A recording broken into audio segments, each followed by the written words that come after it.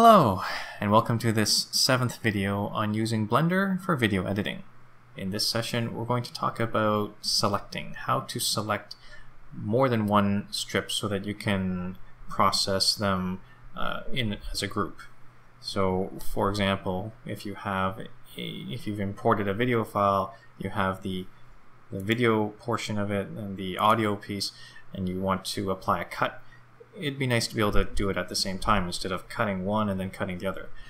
So I should have showed this uh, in the, pre the previous video when we actually talked about cutting and rearranging, but I thought that uh, cutting and rearranging was already enough material uh, for that one session. So we're going to talk about it now. So before we actually do that, I'm going to apply a series of cuts so we have a bunch of strips to work with.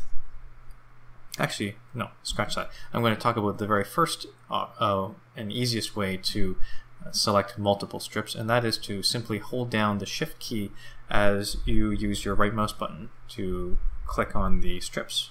So uh, I've already selected the first one, the video strip, and now I hold down on the Shift key and select the audio strip. Now they are both selected.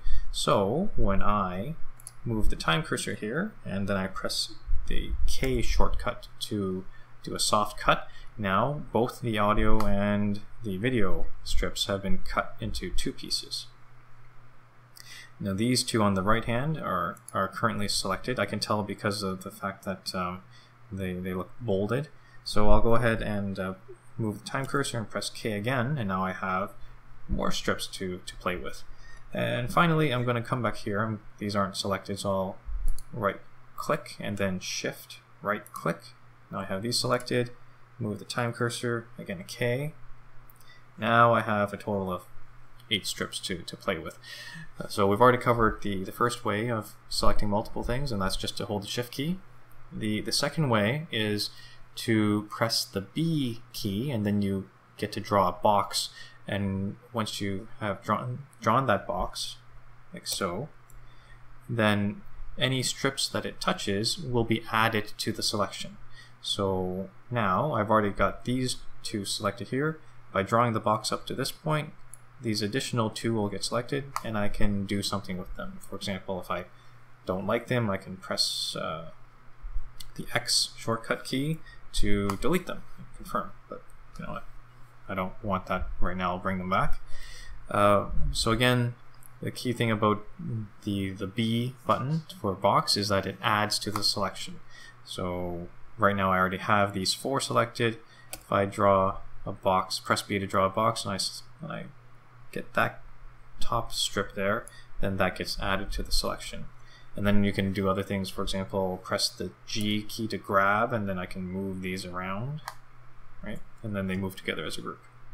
I can, I'll press escape to cancel that two more things to tell you about. One is the A key, which is the toggle to toggle everything on selected or deselected. So if I press A right now, everything gets deselected.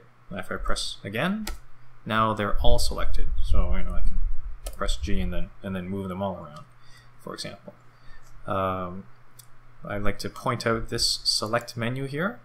You can see there's many options here that I'm not talking about because mainly because I don't I don't use them. I, am using I use the ones that that I have been talking about so far. So holding the shift key, using the box, and pressing the A key, which is this second option here.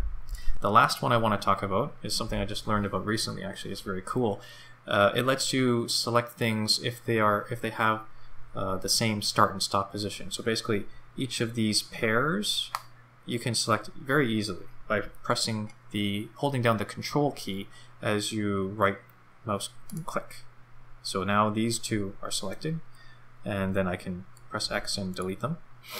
Uh, for and I can also do the same thing over here. Let's say I uh, click on that while holding the control key, press X and delete that, and then I can press on this on the top one this time. Same thing. They, both get selected because they both have the same start and end uh, frames and then I can press G and then shift it over there and now I have done all that very easily using uh, shortcuts, additional ways to select multiple strips and that's it for this session. So now you know all those methods. Uh, holding shift to select to add more, uh, B to uh, use a box to add more, A to toggle everything on or off, and then the holding the control key to select them based off of whether they have the same start and stop positions.